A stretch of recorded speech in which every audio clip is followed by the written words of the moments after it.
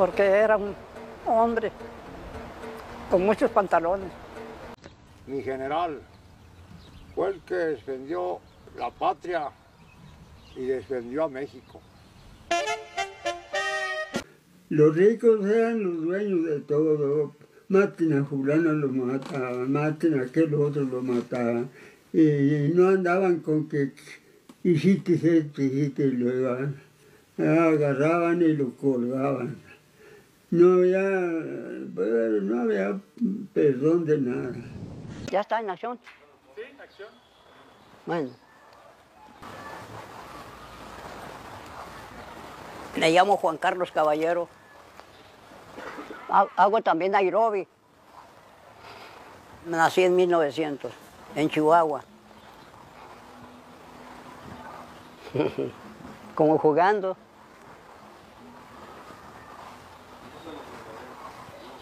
Y ando cansado porque en estos días que hemos andado, siempre se cansa uno, hasta usted se cansó. Yo fui chofer de Pancho Villa, y seguro que sí me da con mucho orgullo, porque era un hombre, pero de muchos pantalones. ¿Cuántas van?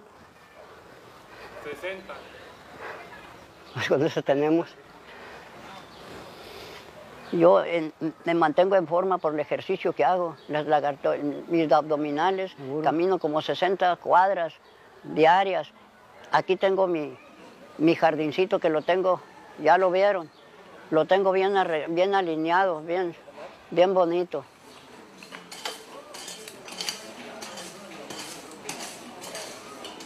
Porque estar nomás ahí, nomás, esto es- no, esto es una terapia que yo solo me pongo. Nadie me pone a hacer eso. Lo mismo a trabajar, nadie me dice que trabaje. Yo trabajo porque me gusta, me gusta hacer movimiento. Es una terapia que yo solo me pongo.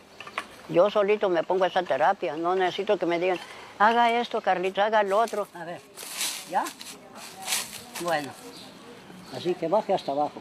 No, yo, porque a mí me gusta jalar, hacer algo, porque si estoy ahí, no, ya después no me puedo mover.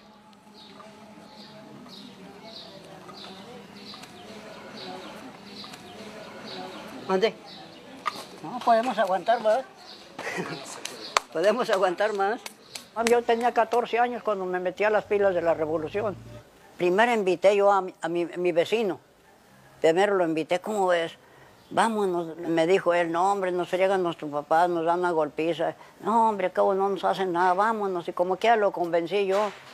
Y lo convencí que nos fuéramos y ah, que nos metiéramos ahí. Y luego yo llegué con él y le dije, como yo era mayor que aquel un año, en paz descanse, le dije, mi general, nosotros queremos andar con usted, porque yo fui el que le dije, queremos andar con usted, mi general, porque usted es un hombre que se ve que tiene de muchos, de muchos pantalones, así le dije yo, se ve que no, yo que- queremos andar con usted. Dijo, pero ¿de dónde son? Somos de aquí. Dijo, no, él con maldición, dijo, no, aquí no hay quién sabe qué, pero jugando. Y luego ya siempre dijo, no pueden con la carabina, haga favor de darme la carabina, darnos la carabina a cada uno, a ver si podemos o no podemos.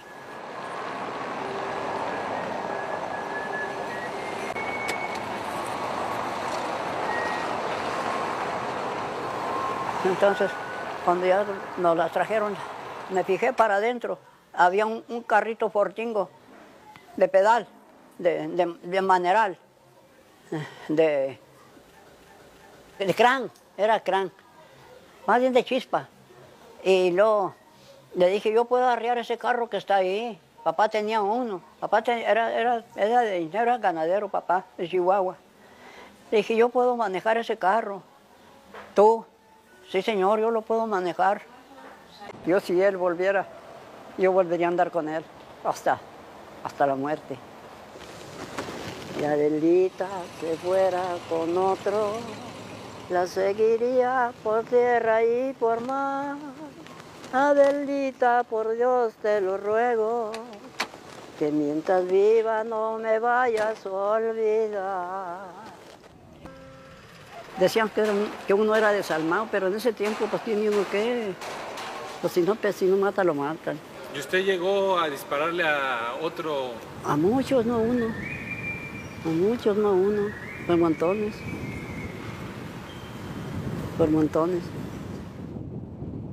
Pero sí, unos 40, 40 y tantos. Más o menos, porque a lo mejor hasta más, porque pues anda uno ahí. Yo quería, con la vida y el alma, quería que se acabara tanta, tanta sinvergüenzada, hombre. Entonces, a los 14 años me enrolé en las filas de la revolución para que, por de ver tanta injusticia que yo veía antes y en aquellos años trabajaban por un puñado de maíz, así, pero crudo, todo se lo daban allí. Dinero nunca lo veían en su, ma, en su mano. Nunca agarraban el dinero porque no les daban. ¿Y, quién se quejaba? Si ellos le pagaban al gobierno. Así es que, pues, aunque se quejaran, pues ahí quedaba, entre compadres. Yo aún guardo monedas a tiempo de, tiempo de las haciendas, porque las tiendas de raya eran un martirio. Tengo un recuerdo in, inmemorable hasta el día de mi, a que Dios me recoja. Dejaré de acordarme de tantas injusticias por las que hemos pasado nosotros. Nosotros peleamos para que México fuera libre. Anduve con mi general Villa en varias partes. Me acuerdo cuando vinimos aquí a esta plaza de Monterrey a solicitar un préstamo y nos fue muy bien porque conseguimos lo, que más queríamos. Necesitábamos dinero para seguir la causa, para seguir, para comprar armamento, para todo eso. Ese es el Cerro de la Silla. La señora Luz Corral de Villa decía que yo era su hijo. Me, me decían Carlitos, no Juan Carlos, me decían Carlitos. Tú, tú estás muy chico.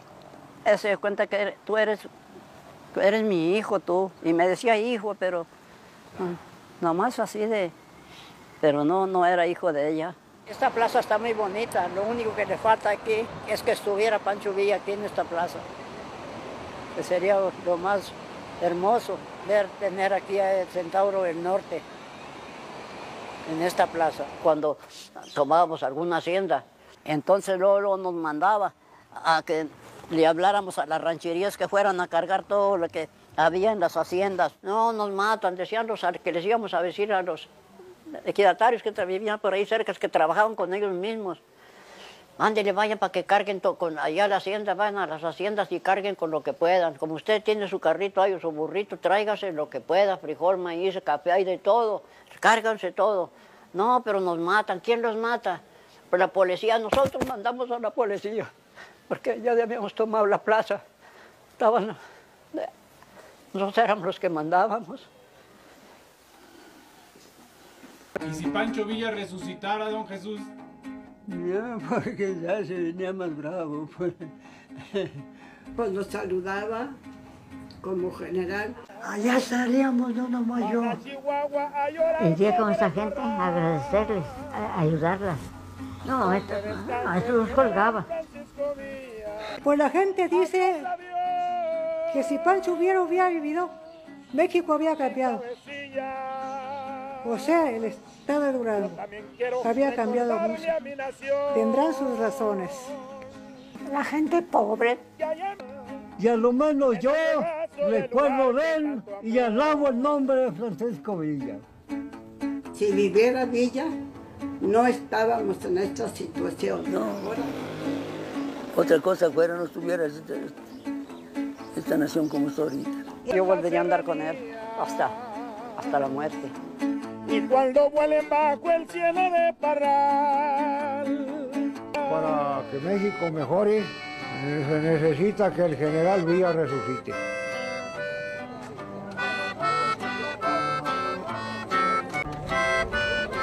Hoy más que nunca México necesita a Francisco Villa. Se necesita un hombre que le tenga amor a México y a los mexicanos.